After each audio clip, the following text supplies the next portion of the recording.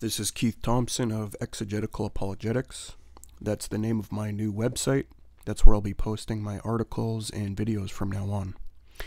This is a response to Muslim apologist Ijaz Ahmed's video, Introduction to the New Testament, Part 1. Because of all the errors of fact and distortions, I feel a rebuttal is in order. Ahmed's aim was to disparage the New Testament documents and the Christian message with many sweeping assertions and outright falsehoods. Ahmed begins with some assertions regarding New Testament authorship. He claims The New Testament's primary authors are anonymous, which means that they are unknown homonymous, which means that they use the names of other people, common names, similar names. And some scholars believe, in one specific case, the case of Paul, that uh, he narrated his letters to a scribe, what we call an amanuensis. So, through church tradition, we've been told that the Gospels were written by four historic individuals Matthew, Mark, Luke, and John However, this information comes from the late second century. Now, there are many problems with this compact paragraph of assertions. Ahmed's claim the primary New Testament authors are anonymous is incorrect. Paul is a primary author and is not anonymous. He names himself as the author in his letter Greetings. Moreover, he even names his amanuensis Tertius in Romans 16:22 so that amanuensis is not anonymous either. So the way Ahmed formulated his comments is incorrect.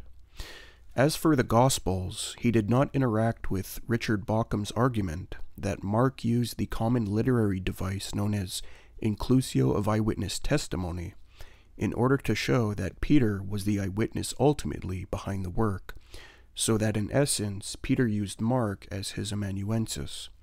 That Mark functioned as an amanuensis of Peter is also confirmed by the work of Jung-Yoon Moon, who in his 2008 doctoral dissertation persuasively argued that Mark was likewise the amanuensis for parts of the epistle 1 Peter.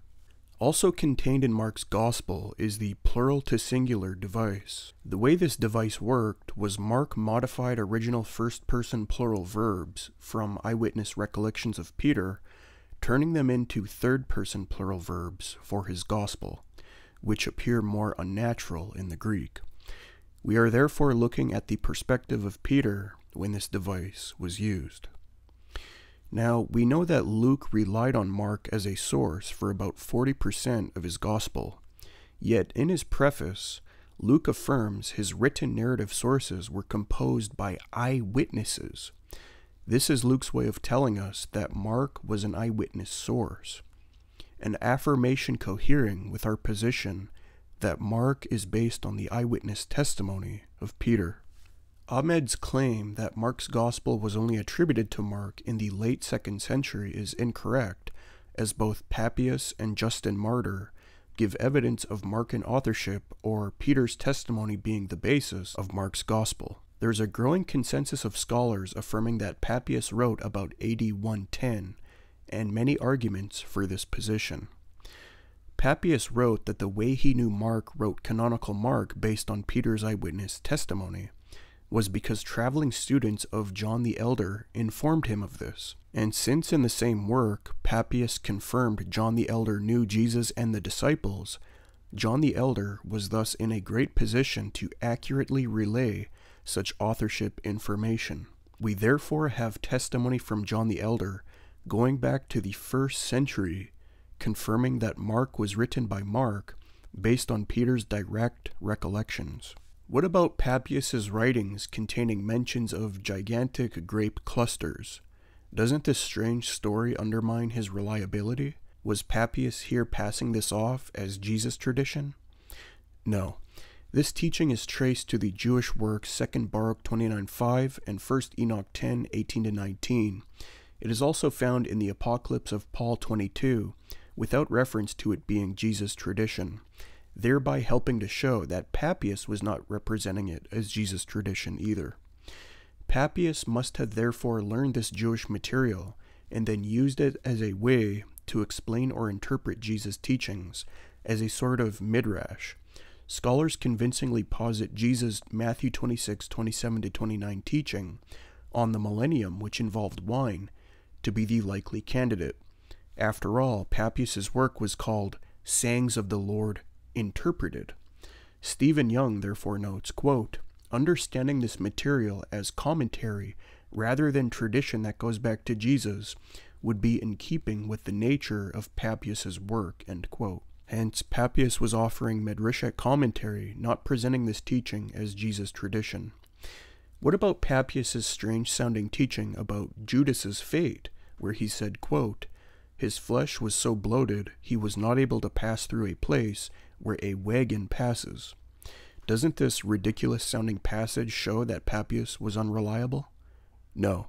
The fact is, Shanks has shown these outrageous physical descriptions of Judas actually just represent a common ancient literary device of hyperbolically describing the downfall of the wicked. They were not to be taken literally. Concerning Justin Martyr's comments on Mark's Gospel, they're important as Justin lived between AD 103 to 165. In his work Dialogue with Trypho, he quoted Mark 3:17 mentioning Boanerges, which means sons of thunder. Now, none of the other gospels mention this, only Mark. So Mark's gospel is clearly in view. In the immediate context, while referring to the same text, Justin then mentions Peter and his name change, quote, written in the memoirs of him, that is Peter, unquote. Thus, Justin knew of Mark's gospel and attested the basis of it was Peter, so much so that it could be called Peter's Memoirs, just as the other evidence confirms. Then, after this, you have late second century traditions and on, from Irenaeus, Tertullian, Hippolytus, Clement of Alexandria, the anti Marcionite prologue to Mark, etc. But scholars note there are some different emphases in these patristic quotations, suggesting that we are dealing with multiple independent traditions, and the fact that no rival theories of this gospel's authorship are discussed or proposed in the early patristic literature is evidence the traditional authorship view advanced by them is factual and original.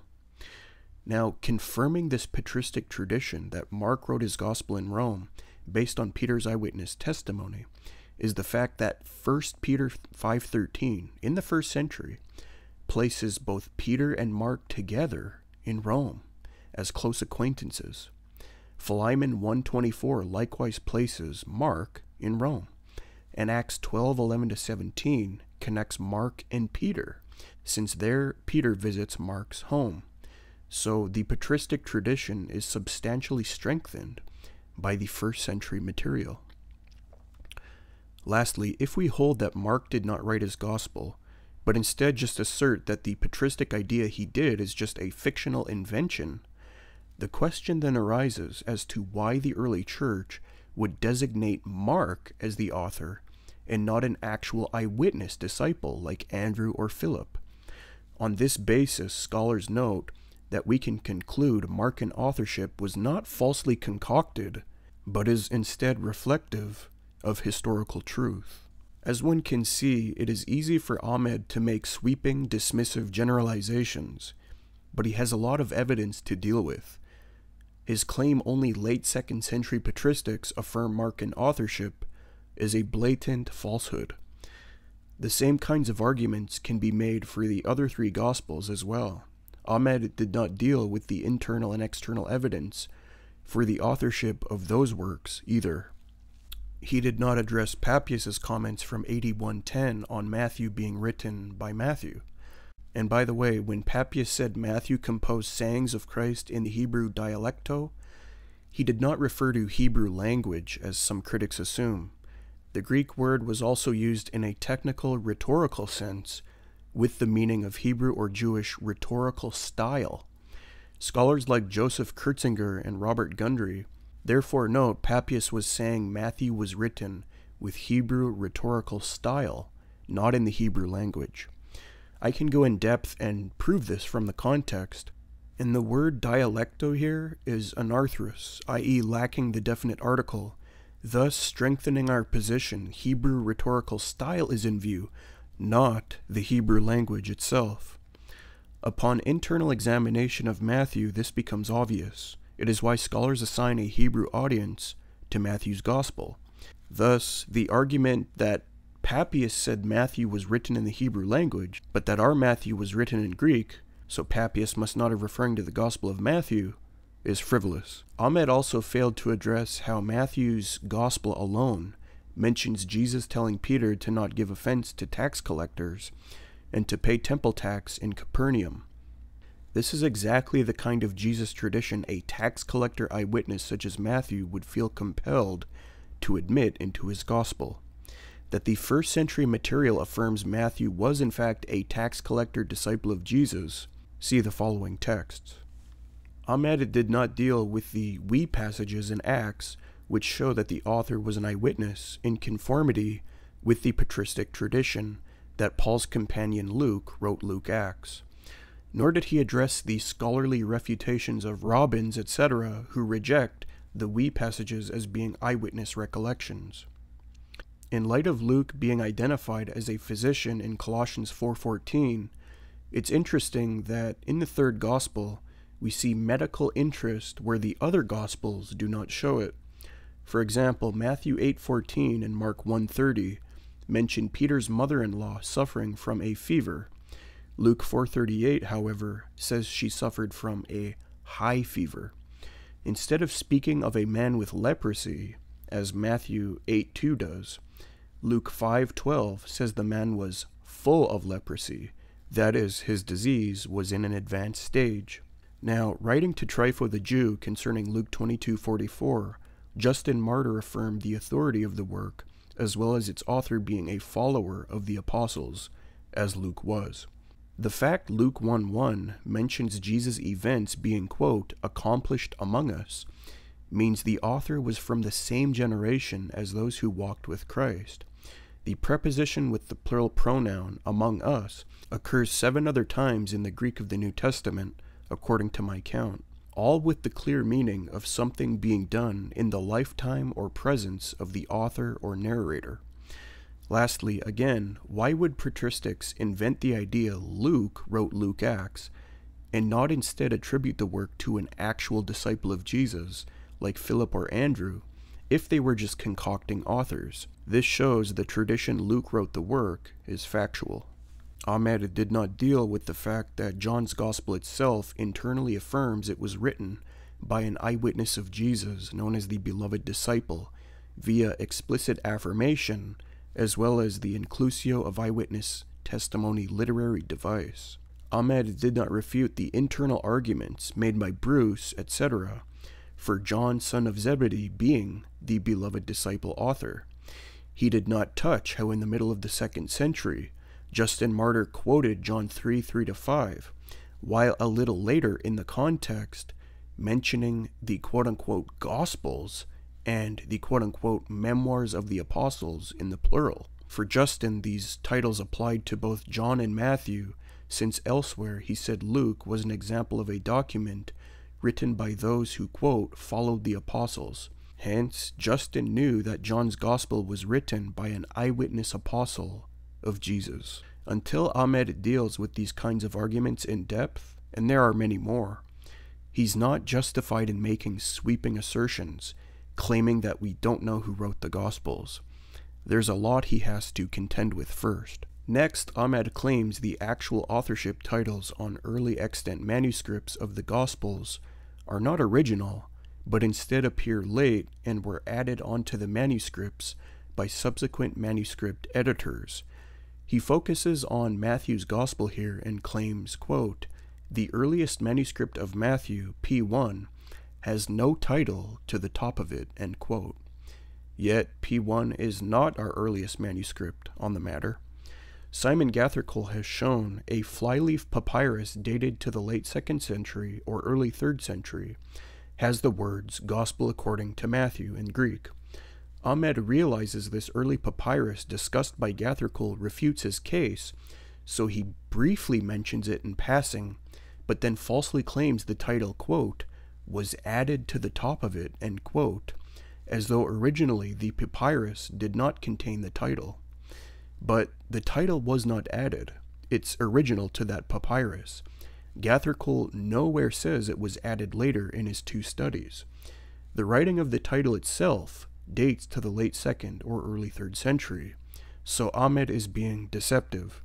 The fact is, we have a papyrus earlier than or contemporary with P1 affirming that Matthew wrote Matthew. Ahmed paints the picture that the Gospels, with Matthew as a test case, do not have original Gospel titles as represented in the earliest extant manuscripts, but that it took many hundreds of years as well as redactions of said manuscripts in order for the titles to be added. The problem with this picture is we also have P75, which is a late 2nd century or early 3rd century manuscript, and it contains large portions of the Gospels of Luke and John. Lo and behold, it contains the title Gospel according to Luke and the title Gospel according to John. Gathercole notes there's no evidence these titles were added later by a different hand. They are instead original to the manuscript. Indeed, the evidence suggests the titles share the same hand as the rest of the body of text. Hence, contrary to Ahmed's picture, we do have early manuscripts with original titles and do not have to wait hundreds of more years for them to be added. What is more, Ahmed failed to address Martin Hengel's argument that the titles of the Gospels are a late first century phenomena. Hengel talked about how in ancient book distribution practice, titles were common and necessary.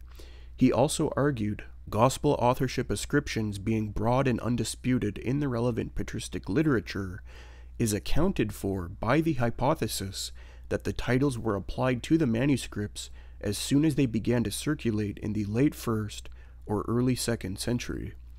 What is more, since there were different Gospels circulating by the end of the 1st or early 2nd century, the titles differentiating them were needed, so they needed to be applied early. Thus, the titles are at the very latest early 2nd century. None of these arguments were addressed by Ahmed. Next, we turn to the topic of textual criticism.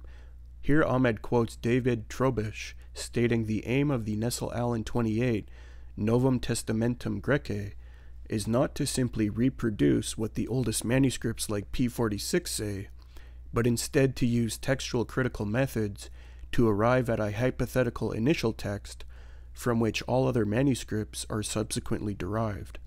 There's nothing really controversial about this, though. All it means is that even P46 has variation and needs to be compared with our wealth of other manuscripts and patristics to help come to the initial text using sound text critical methodologies.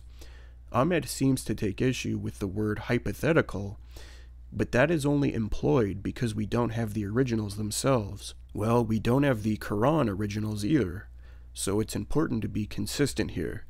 The fact is, text critics work hard with good methodologies to come to what they think was the initial text, but because they don't have the originals, they will therefore cautiously use the word hypothetical in a careful and scholarly manner. The idea that Ahmed wants to perpetuate that we don't know what was originally written is contradicted by the testimony of many scholars.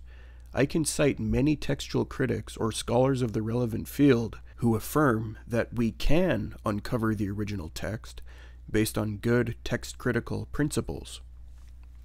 Textual critical techniques are excellent enough tools to allow translation committees and text critics to come to original readings.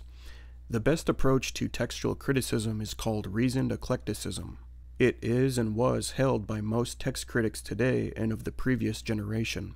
Reasoned eclecticism states we should not prefer any text type over the other, but instead examine both external and internal evidence based on sound principles. What are these external and internal principles? Good summaries can be found in the work of Black and Aland. The external principles are prefer the reading evidenced in broad geographical areas, the one evidenced in the most amount of text types, and the one found in the oldest manuscripts. The internal principles are prefer the shortest reading, the more difficult reading, the reading most consistent with the original author's style and vocabulary, the reading most consistent with the immediate context, the reading most consistent with the original author's broader theology, and the reading that is least like parallel passages. This last one corrects the practice of certain ancient scribes who would sometimes harmonize parallel texts in their manuscripts. Once the external and internal evidence is carefully examined, it is quite easy for scholars to dispel variants and uncover the original text. This is what textual critics have worked very hard to do to ensure that we have an accurate New Testament. I can provide many examples of how using these principles makes it quite easy to discern original readings. Ahmed would have to call them all into question in order to argue we can't uncover the original text but he has failed to do so. The fact is, as William Klein, Craig Blomberg, and Robert Hubbard correctly note, based on these text critical principles, quote, estimates suggest between 97 and 99% of the original New Testament can be reconstructed from the existing manuscripts beyond any measure of reasonable doubt. Ahmed then claims the primitive Christians after Jesus did not believe in inspired New Testament canonical documents, but that such beliefs came much later. So it is important for Christians to understand that a belief in the New Testament itself as the inviolable Word of God is a later belief, and so the question begs itself are the earliest Christians heretics for not having a New Testament to believe in, or are latter day, that is, current Christians, more holy and faithful than the very Christians who knew Christ himself?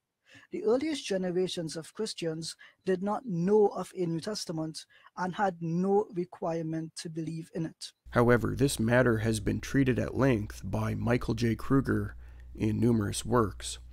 Ahmed shows no knowledge of such important studies and therefore fails to interact with them.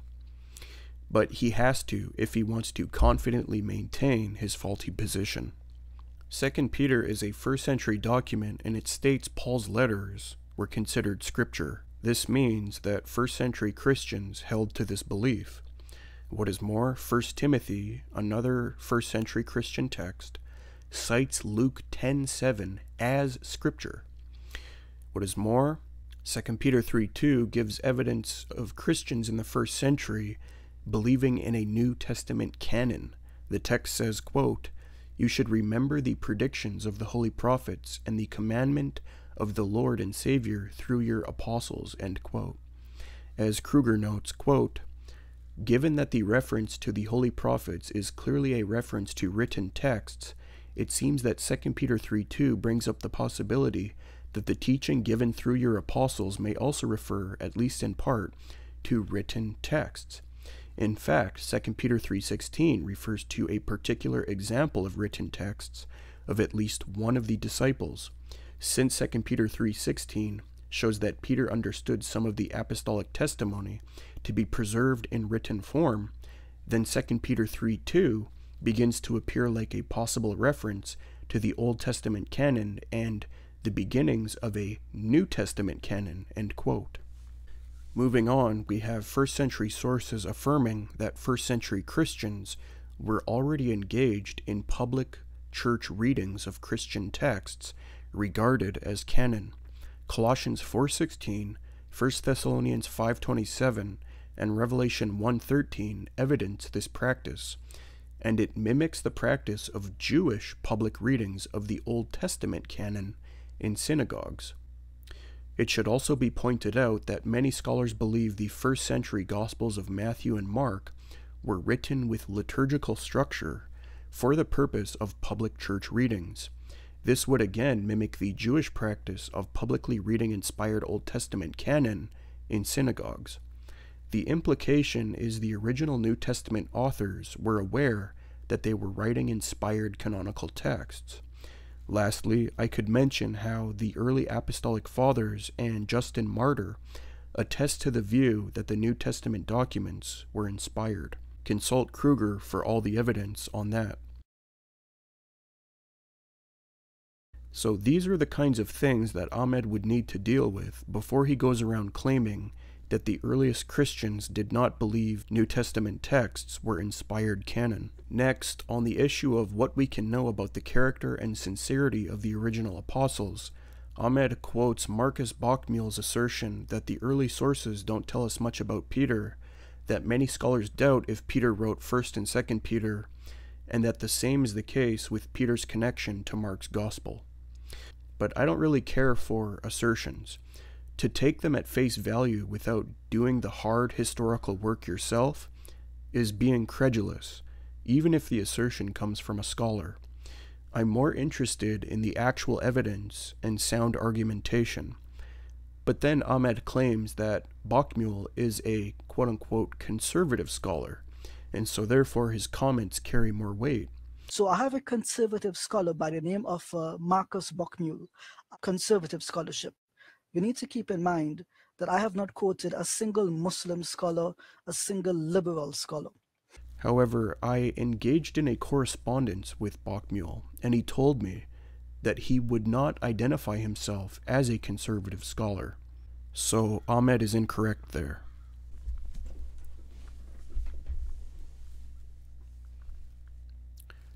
Regarding Bockmuehl's objection specifically, I agree that we don't have a full biography of Peter from the earliest sources, but this is because he was not the main focus of primitive Christianity.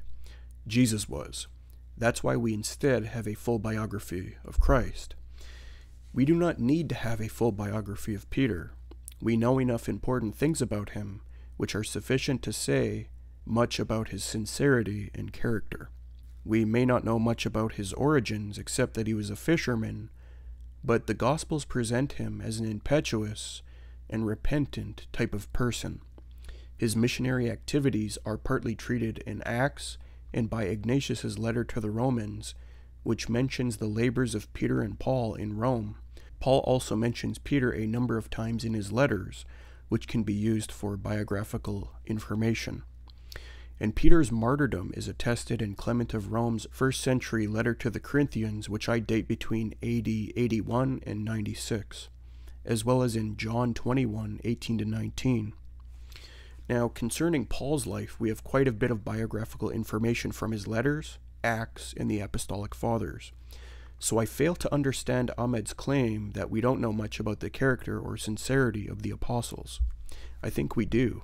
We have evidence from the New Testament, the early patristics, and even secular historians like Josephus that disciples like Peter, Paul, and James were willing to and did in fact die for their beliefs. John the Baptist was murdered for his as well, and he believed in Christ as well as other points of Christian theology as the synoptic tradition affirms. The point is, people don't die for known lies. Thus, this shows at least Peter, Paul, James, and John the Baptist believed what they preached, and in the case of the first three, what they wrote. On the character and sincerity of the original disciples, we also have the weighty testimony of the early apostolic fathers. Ignatius testified that Paul was a holy man. Papias confirmed Mark was a reliable writer when doing shorthand for Peter. Quote, Mark made no mistake in thus writing some things as he remembered them, for of one thing he took special care, not to omit anything he had heard, and not to put anything fictitious into the statements. Papias also affirmed the reliability of the testimony, that is, the living and abiding voice, of Andrew, Peter, Philip, Thomas, James, John, Matthew, and the other disciples. Earlier I mentioned Clement's late first century mention of the deaths of Peter and Paul, but he also confirmed such apostles were illustrious, and he wrote that Peter first, quote, endured not one but many labors. He also confirmed Paul was a good example of, quote, patient endurance, end quote, and that, quote, he had been seven times in bonds, had been driven into exile, had been stoned, had preached in the east and the west, and taught righteousness unto the whole world. In the early second century, Polycarp affirmed Paul was, quote, blessed and glorified, quote, and that he, quote, accurately and steadfastly taught the word of truth. He also stated Paul and the other apostles were obedient and patient people, Bill Craig correctly notes the disciples of Jesus were, quote, simple, common men, not cunning deceivers, quote, and had nothing to gain in worldly terms by proclaiming what they did. So, contrary to Ahmed's assertions, a good case can be made for the disciples' sincerity and characters. As regards Bockmuehl's comments on the authorship of 1 Peter, there are dozens of New Testament scholars who argue it was written by Peter. I can provide many commentaries and introductions doing so. Second Peter is a bit more complicated, but quite a few scholars recognize Peter wrote this letter as well. The difference in style and language between 1st and 2nd Peter need not lead to the conclusion that Peter did not write the latter. This is a major reason why many reject 2nd Peter's Petrine authorship. But recognizing the use of different amanuenses being common practice in this period accounts for such differences.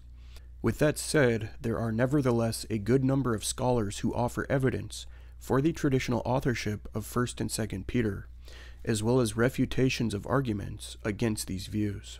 I can think of Schreiner, Bigg, Jobes, Kruger, Guthrie, I. Marshall, Moo, Kostenberger and Kellerman Quarles, Gene Green, J. A. T. Robinson, Waltner and J. Charles, Carson and Moo, and Blum.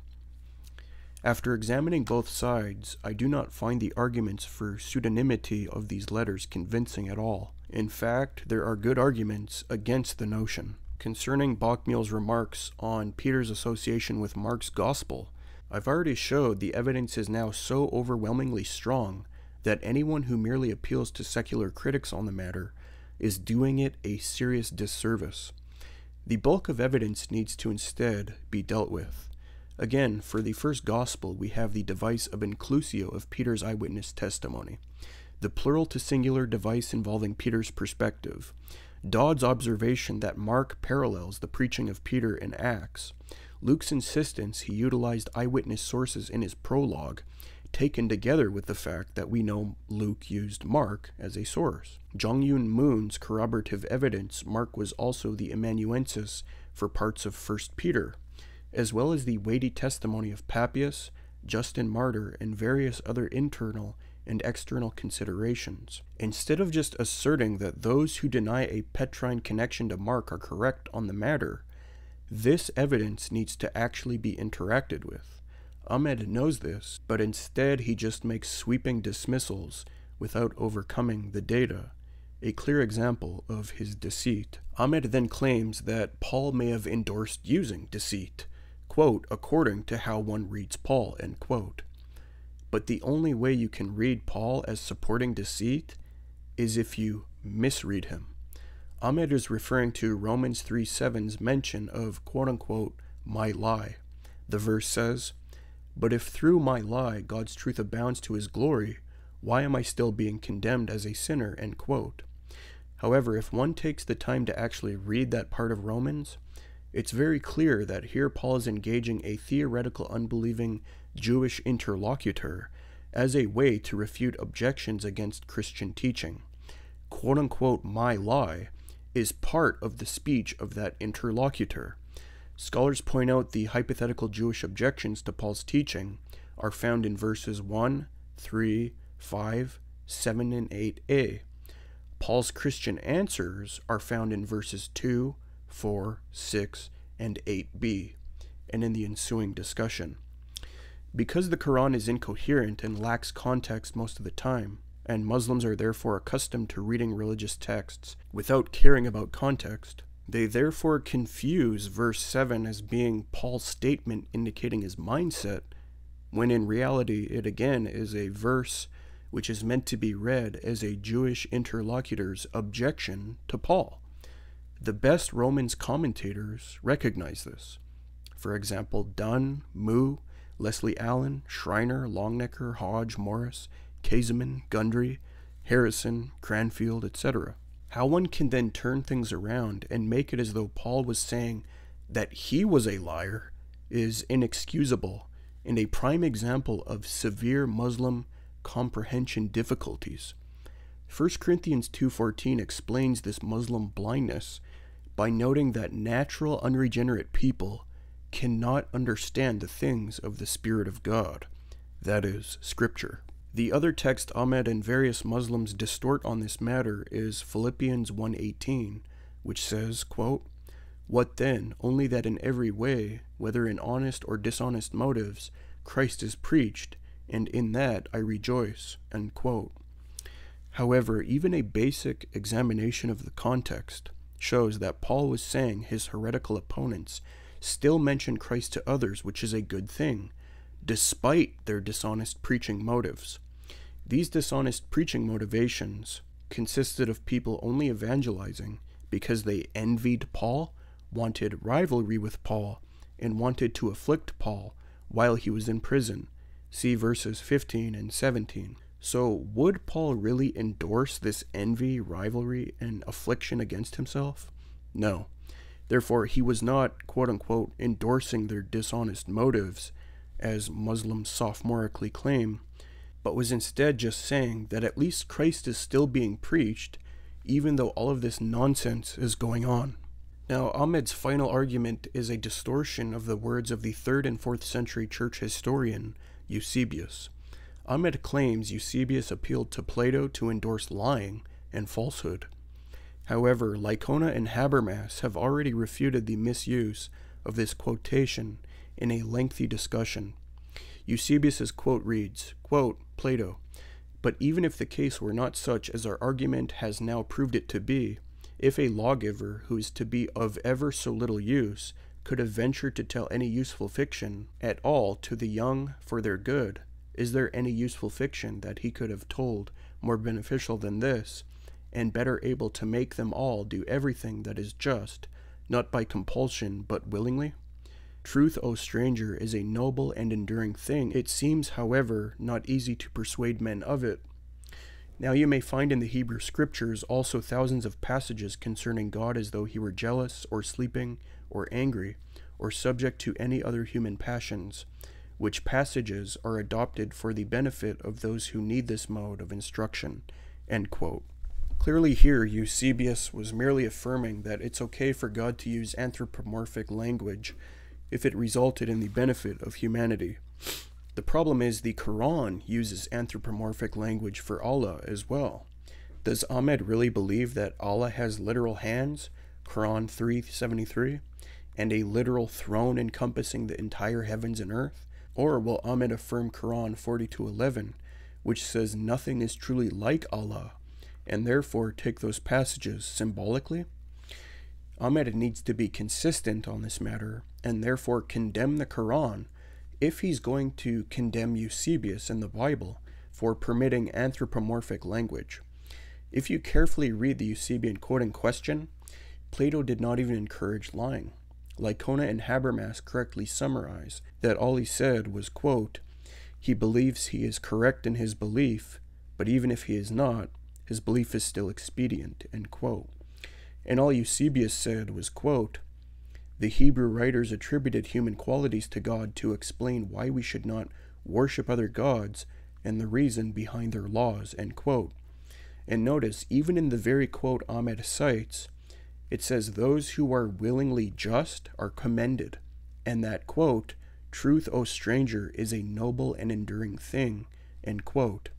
So, this idea Eusebius didn't care about truth and was willing to lie to advance the gospel is just something not in the text itself. The fact of the matter is, the early church exhorted people to be truthful, be lovers of truth, and to avoid lies and deception.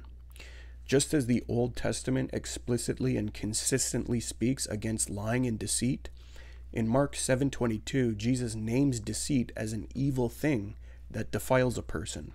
In Mark 10:19 Jesus commanded his people to not bear false witness. In John 4:24 we read, quote, "God is spirit, and those who worship him must worship in spirit and truth." End quote. In John 14, 6, Jesus said, He is the truth. And since Jesus is the truth, the natural application for Christians is we're to be truthful if we want to honor him. In Acts 13:10, Paul identifies deceit as being demonic. In Romans 1:29, Paul charges the unbelieving world of things he considers evil such as deceit, murder, and envy. In Romans 2:7 to 8, Paul views obedience to truth is that which leads to eternal life. In 1 Corinthians 5:8, Paul promotes the metaphorical unleavened bread of sincerity and truth. In 2 Corinthians 6:7, Paul promotes truthful speech. In 1 Peter 2:1, Peter commands Christians to quote, Put away all malice and all deceit and hypocrisy and envy and all slander. End quote. 1 John 1 6 condemns lying and not practicing truth. And finally, Revelation 21 8 says liars will burn in hell.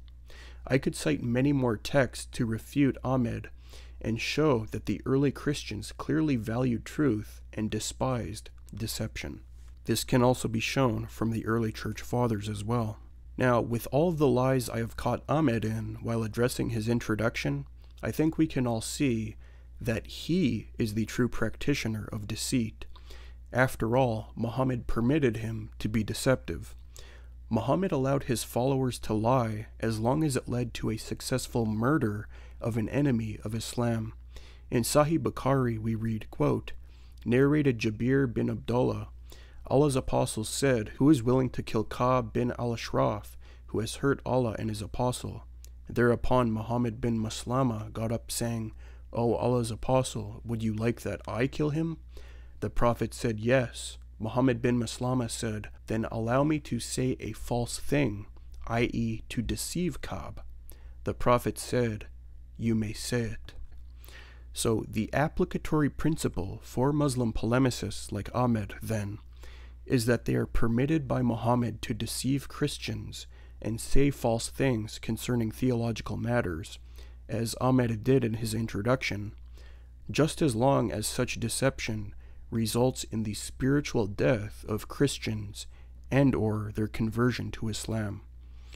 Those reading Ahmed need to therefore be aware of this overarching deceptive Islamic worldview.